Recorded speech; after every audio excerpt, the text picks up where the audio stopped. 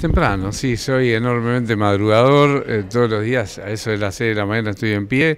Eh, bueno, lo primero es agradecer a todos los amigos en el departamento, en todos los puntos del departamento que nos han dado una mano en una elección eh, complicada, un grupo que tiene una historia muy rica y el agradecimiento eterno. Lo segundo es decir que puse lo mejor de mí, eh, como lo hago siempre, en todas las campañas, eh, cantando la justa, hablando de los temas que, que importan a la sociedad, hablando de futuro, proponiendo soluciones para el futuro y que tengo la confianza que en, que en la noche pueda tener una alegría con la, con la elección. Trabajé para eso, después el pueblo en las urnas marca la fortaleza de cada dirigente y el destino que tiene que tener cada dirigente en cualquier actividad de la vida.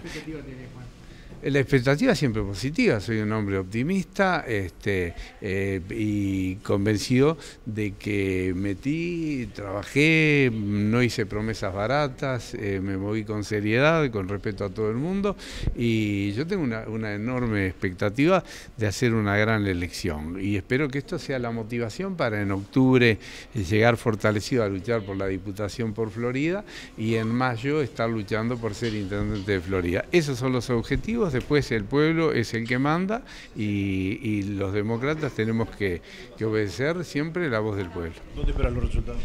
En la Casa del Pueblo, como siempre, eh, entre la Casa del Pueblo y mi casa hay veces en la ansiedad de tener resultados de todo el país, voy a mi casa a estar un poquito tranquilo viendo la, apertura de sobres, pero voy a estar mucho en la Casa del Pueblo todo el día. ¿Cuál es su mensaje para los que están viendo hoy eh, esta eh, señal de la televisión y que no han ejercido el voto todavía? Y que voten, ¿no? Eh, que voten porque la, democracia, dijera Churchill, es el, peor sistema salvo todos los demás. Este, entonces hay que, hay que fortalecer la democracia votando y eligiendo lo que a uno le parezca. Así que voten eh, pensando en el, en el porvenir y que voten con dignidad, ¿no?